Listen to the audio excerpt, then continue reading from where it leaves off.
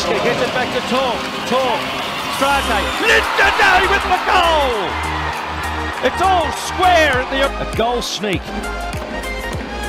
Look at the Latvians trying desperately. It was brilliant work from Norway because they just did not let Latvia have a clean shot at all.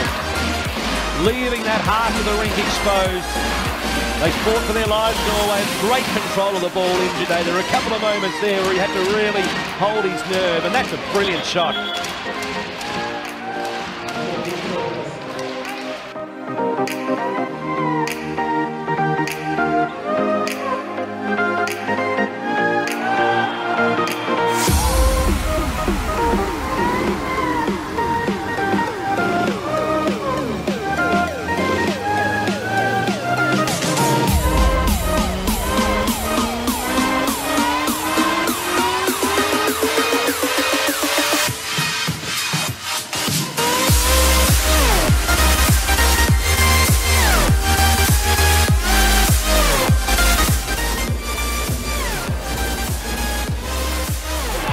And the first goal for Norway. I Believe that it could.